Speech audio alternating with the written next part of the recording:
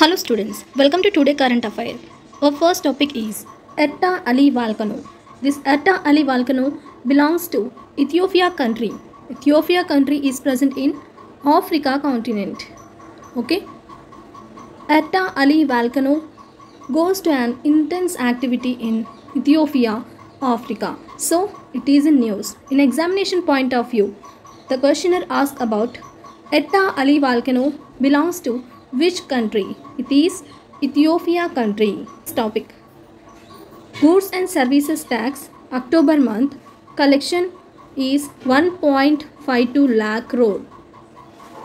This value is second largest because first highest GST collection occurred in April month 2022. Okay, April month 2022. It is 1.68 lakh crore. Now this October month collection is 1.52 lakh crore. It is second highest GST collection in India. And next third one is triclosan. Triclosan is a chemical. It is mainly used to kill bacteria. Mainly used in soaps and detergents in our daily life. In our daily life. Overusage of this triclosan causes many health infections in people. So scientists are saying that please decrease the usage of triclosan. Next fourth one. 7th India Water Week is occurring in Noida, Uttar Pradesh. It is from 1st to 5th November. What is the theme of 7th India Water Week?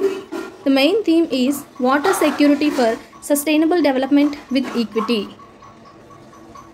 Next one is 3D Villa. In our world, first time 3D Villa is constructing at Saudi Arabia Shams Al Riyadh Residential Development Kingdom by famous real estate company Company Dar Al Arkan. Okay, it is 9 meter in height and consists of two floors. In examination point of view, 3D villa. Our first 3D villa is constructing in which place? It is at Saudi Arabia Shams Residential Development Kingdom. By which company? By real estate company Dar Al Arkan. Next topic is first anti-carbon emitting bathroom. Okay, first anti-carbon emitting bathroom developed by Ruhani Verma. She belonged to Punjab state. It is made by 4 lakh single-use plastic bags and silica dust. Okay. With the help of 4 lakh single-use plastic bags and silica dust, Ruhani Verma, who is belong to Punjab state, she developed first anti-carbon emitting bathroom.